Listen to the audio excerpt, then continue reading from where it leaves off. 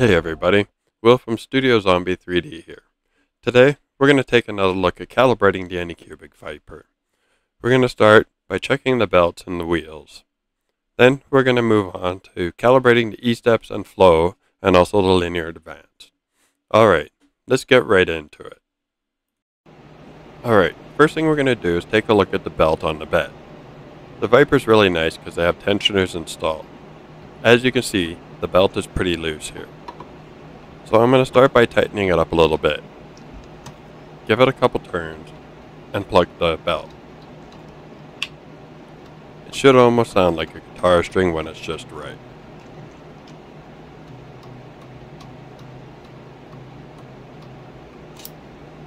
Alright, as we can tell by the sound, it's pretty good. We'll leave it at this and give it a try. Make sure the bed rolls and moves smoothly afterwards. Let's take a look at the X-belt now. Now, the X-belt's a little harder to check for tightness. What I like to do is move the hot end as I'm tightening. You'll feel a bit of tension on it as you move. You don't want too much and you don't want too little. Alright, let's move into the bed wheels. As you can see, there's a bit of movement on here. On the right side bottom, you can see two concentric nuts. You're going to want to tighten this while moving the bed. You don't want to over tighten as it can cause wear and damage to the wheels. You want to tighten it just until the wobble stops.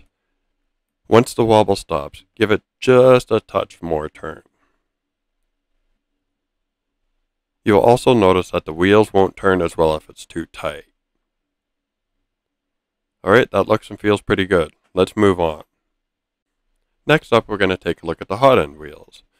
I loosened this already so you can see the wobble. The concentric nut is located on the bottom wheel. Just tighten it as you're moving the hot end to make sure the wobble goes away. As soon as there's no more wobble, just give it a little touch more. Alright, let's get to the calibration. Alright, first thing we're going to want to do, if you haven't already, is download Pronterface from the Printrun website. I'll place a link in the description. Download the version for your PC. I use Windows, so I'll download the bottom link. Once you have it downloaded, we're going to unpack the folder and place it on the desktop for easy access. Alright, once that's done downloading, just extract it to the desktop. Next thing we're going to do is mark our filament and do our E-step test. Alright, the first thing we're going to do is measure 100 millimeters back from the Bowden tube going into the extruder.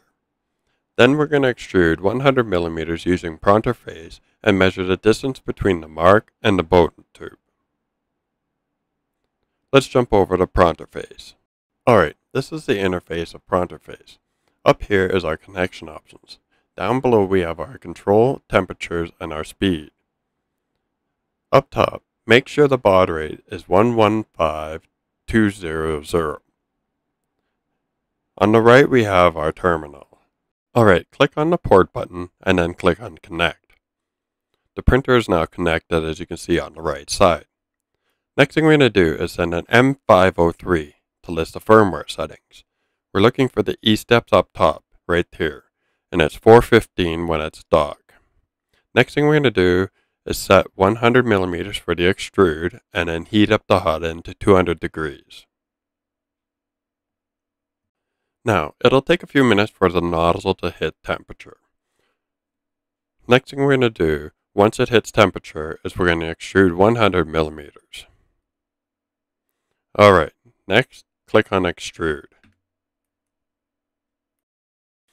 Alright, here we are back at the printer watching it extrude.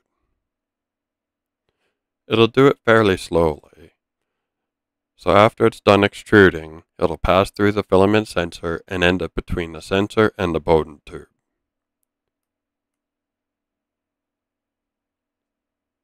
And there it is. Next, we're going to take a measurement.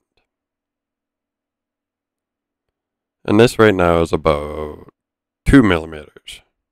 Alright, now we're going to jump back to the computer, put in 100 divide it by 98, and then multiply it by our e steps which we found earlier. Right here which is 415 and here we are 423.4 that's going to be our new e steps. So we're going to send an m92 space e and then our new e steps of 423 hit enter and then send an m500 to save. Next, send an M503 and double check that it's saved. And here we are.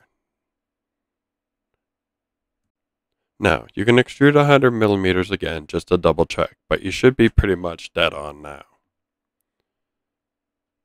And here we go, just feeding it through. Waiting for it to come through the sensor.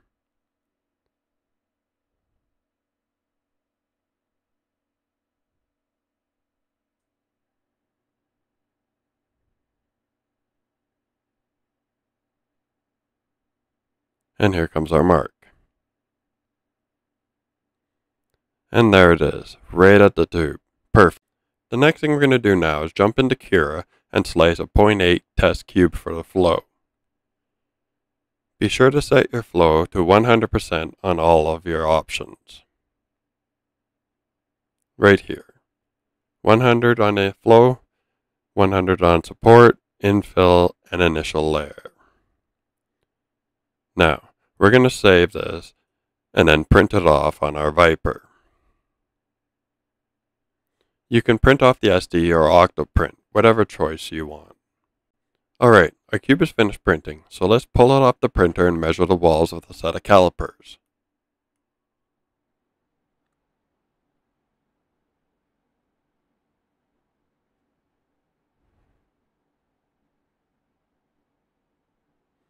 Alright, so we're going to average the four walls.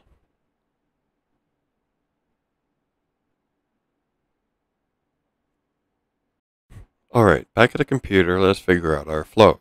Enter 0.80 and divide by your result, which mine was a 0.85.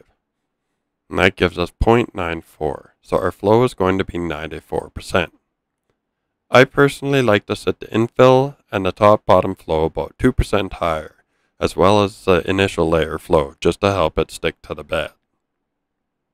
Alright, now our flow is done. Now we can move over to our linear advanced calibration. Now, on the K-factor calibration page, enter the printer name, change the nozzle temperature to 200, bed temperature 60, I set my retraction to 3, layer height to 0.2, and then enter your bed dimensions. 250 by 255. Next, the printing speeds can stay the same. The retract speed set to 40, as well as the unretract speed. Acceleration I have set to 800. Next, under the pattern, we're going to use the standard pattern, starting value of 0, and then ending value of 1. Next, change the k-factor stepping to 0.25.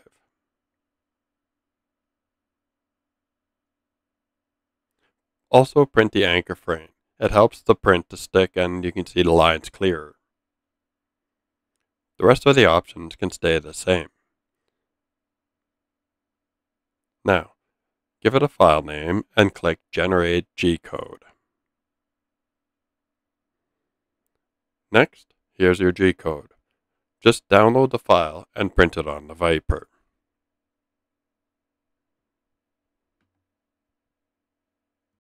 And here we are with our pattern. For my printer, 0.4 to 0.45 seem to print the best. You may need to increase it once you start printing though. And here we are back over at Pronterface. We're looking for the M900 line right here. So send M900 space K0.45 in my case. Then we're going to send an M500 to save and then an M503 to double check.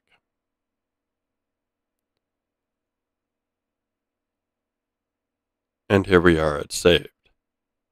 Now, the last option we're going to set is junction deviation. It replaces a jerk, right up here, the M205 line.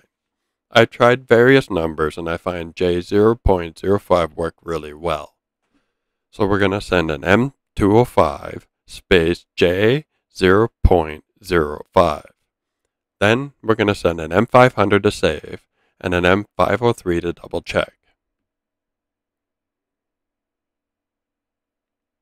And scroll up and here we are, J0.05. Now we're ready. Alright, I printed a test cube just to see how things are looking. And it's looking pretty good. You may need to increase linear advance a little bit just to help get rid of the rest of the bulging. But this cube looks pretty good. It's nice and sharp. There's no gaps. And we're in a pretty good starting position with our Vyper now. Alright everybody, that's my V2 calibration video. Alright, that's it. And as always, subscribe and hit that like button everybody. Thanks for watching and be sure to check out our Studio Zombie 3D Instagram to see what's going on in the studio. Also be sure to check out our GL Robotics channel partner in the links below. Thanks everybody and see you in the next video.